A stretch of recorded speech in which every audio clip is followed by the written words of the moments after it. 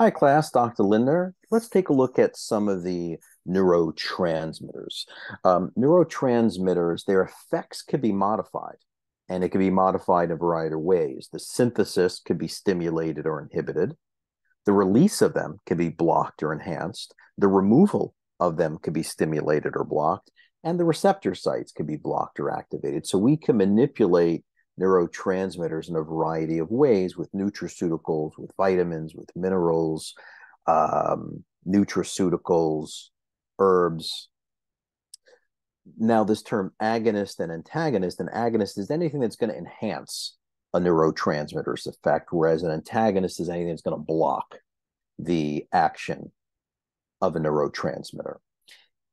We're going to look at uh, some different classifications of neurotransmitters. There are small molecule neurotransmitters like acetylcholine, amino acids, biogenics, uh, ATP, nitric oxide, carbon monoxide. Uh, we have small molecule transmitters that we had just mentioned, and you notice that the function is going to be different because their structures are very different, right? Acetylcholine is different than glutamate. It's different than norepinephrine, dopamine, purines. So we're going to talk a little bit about um, about these. So let's look at some of these neuropeptides like substance P and enkephalins, uh, angiotensin. Now, when we look at uh, substance P, these are found in sensory neurons. They're found in the spinal cord um, and parts of the brain, and they're associated with pain. Substance P enhances your perception of pain. So, substance P allows you to feel more pain. So, there are things that can be done to block substance P or to burn them out. Uh, things like biofreeze, things like these topical analgesics. You put something on on your skin and all of a sudden it feels like really really hot or really really cold and then it makes you so aware of it. It enhances the perception of that and your mast cells are pushing out this substance p. And all of a sudden there's no more substance p left because it, it just flushed it all out and all of a sudden 15 minutes later you're feeling better after putting on the biofreeze because there's no more substance p. It pushed it all out um, enkephalins. These inhibit pain impulses by suppressing the release of substance P. So this one is kind of like making you feel it, and this one can inhibit it. And we know that a lot of uh, therapies can inhibit enkephalins. You know, acupuncture can work very well, vibration therapy, hands on therapy, lots of medications can be used to uh, block substance P. Um, endorphins also inhibit pain by blocking the release of substance P. Again, acupuncture works very, very well with things like that. Um, angiotensin 2 stimulates thirst, regulates blood pressure in the brain. Uh, as a hormone, causes vasoconstriction and promotes the release of aldosterone, which is also increases your heart rate and salt and water reabsorption. So the uh, angiotensin 2 is designed to increase uh, your blood pressure. CCK it's found in the brain and the small intestine, and it regulates feeding as a stop eating signal. It's also involved in helping to break down fats. We know that when fat hits the stomach and it goes into the duodenum, the duodenum releases CCK and it goes to the gallbladder and tells the gallbladder to release bile and break down the fats. Okay. So just a few. Uh, um, again, substance P enhances our pain perception, and enkephalins, these are have a, a pain relieving effect by blocking the release of substance P. And acupuncture may produce a loss of pain sensation because the release of opioid like substances such as endorphins and dynorphins. Okay. And we're always looking for uh, drug-free ways of trying to help people, and acupuncture uh, has made a lot of strides um, in the last few years.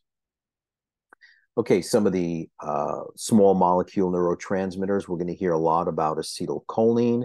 It's very, very important at the neuromuscular junction. When we get into muscles, we're going to get quite a bit into the NMJ, the neuromuscular junctions. Glutamate and GABA. Uh, glutamate is excitatory and GABA is inhibitory. Um, I think of glutamate when you get up in the morning, it's the accelerator. It helps you get up out of bed. And then glutamate, uh, the flower has to close, right? This is the opening of the flower. In the evening, this is the closing of the flower. GABA, which is gamma aminobutyric acid, GABA is inhibitory it calms down your brain at night so you can sleep. Glutamate stimulates your brain in the morning so you can get up. GABA calms you down at night. And glutamate really does get converted into GABA, but we need our B vitamins in order to do that, especially B1 and B6 to make those conversions. So if you're B vitamin deficient, you're not going to be able to do this. Now, there are some people that have these imbalances where they're glutamate dominant at night, meaning they can't sleep at night because their brain is wired with information. And then there are people that are GABA dominant in the morning. When they get up, they're constantly hitting the snooze button. Okay. So GABA is an inhibitory neurotransmitter.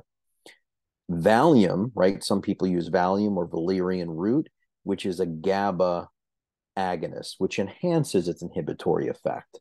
Some people may use Valium when going on an airplane to relax. So they're a little bit tired and they're sleepy and they're not as anxious. So these neurotransmitters um, are very important. Norepinephrine, dopamine, serotonin. Um, norepinephrine is going to regulate your mood, whether you're awakening from a deep sleep. Dopamine is involved in regulating skeletal muscle and serotonin is also involved in controlling of mood, temperature, regulation, induction of sleep. These are very, very important um, neurotransmitters.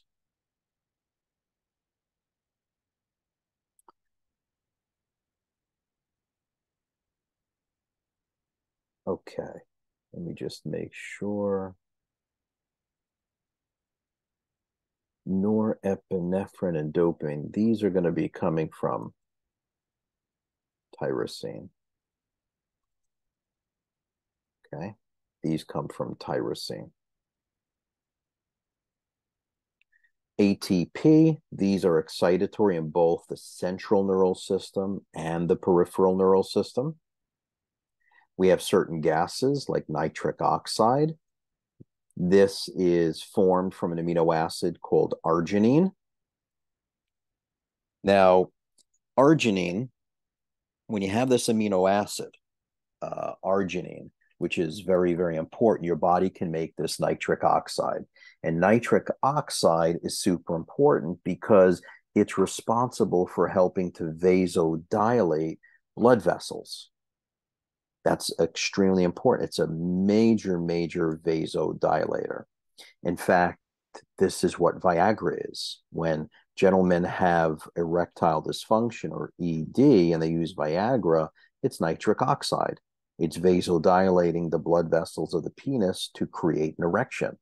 But at the same point in time, it's going to vasodilate a lot of other blood vessels, so blood pressure can dip. So they have to be very, very careful with that.